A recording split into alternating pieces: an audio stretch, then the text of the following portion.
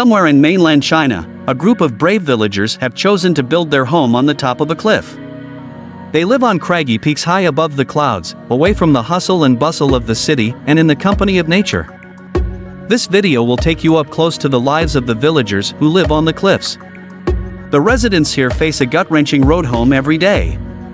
The narrow, steep mountain roads that wind down over the precipitous cliffs are awe-inspiring. China's Daliang Mountains region is a rugged, rolling terrain where some cliff villages may exist. Located at the border of Sichuan, Yunnan and Guizhou provinces, the Daliang Mountains are a mountainous region in southwest China.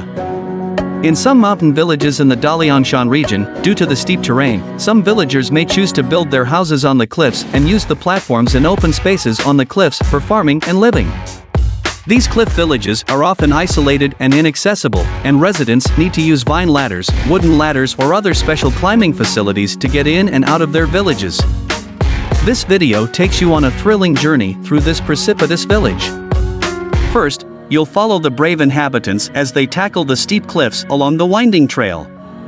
They climb down with a steady gait, clutching ropes and keeping a watchful eye. This is an integral part of their daily lives, and they face each journey home with courage and perseverance.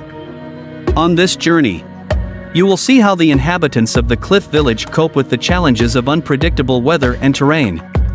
They know every inch of the land because they rely on this road to connect with the outside world. You will witness the magnificent scenes of their struggle to climb and traverse the cliffs and feel them in the midst of a great test of natural forces. Their perseverance, courage and tenacity will impress you with the real difficulties of life and the power of will. The steel ladders in the cliff villages are special architectural structures that are usually used to connect the inhabitants of the cliffs to the outside world or to neighboring villages. These steel ladders act as important transportation routes, helping the residents to move vertically between the cliffs. There are a variety of reasons why someone might choose to live on a cliff.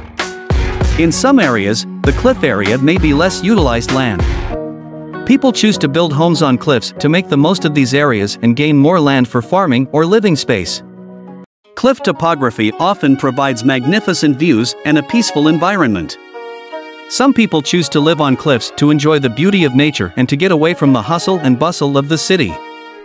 For some cultures and communities, cliff dwelling may be a continuation of a tradition or culture. These communities may see cliff dwelling as closely related to their values, beliefs or historical heritage. Despite the dangers of the journey home, the residents of this cliff village never gave up. Their stories will inspire everyone who watches to rethink the difficulties we face and the courage and resilience we show in the face of adversity.